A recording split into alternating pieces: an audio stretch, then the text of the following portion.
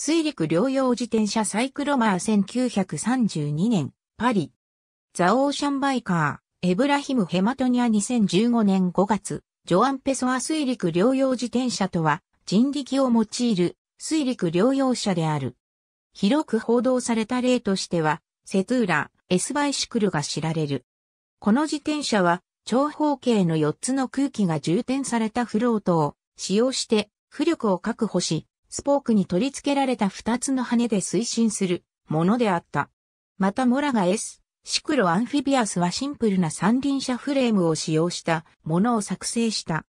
これは、浮力と水力を確保するために3つのフロートを使用し、動力を伝える車輪に羽を取り付けたパドルホイール式で推進した。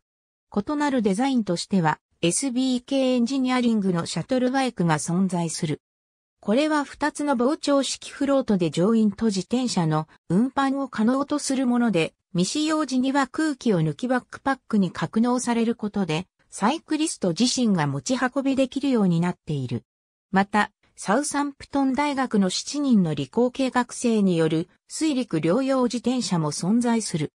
この水陸両用自転車は、リカンベントフレームと分離フロートを組み合わせパドルホイールで推進するもので、水上速度試験では平均速度で秒速1.12メートルを記録した。また、外部からの手助けなしで水、陸の移動ができるようになっている。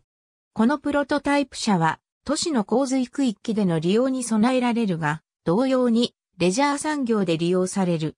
近年の設計ではエブラヒム・ヘマトニアが自らの世界一周旅行のために開発した水陸両用自転車が知られる。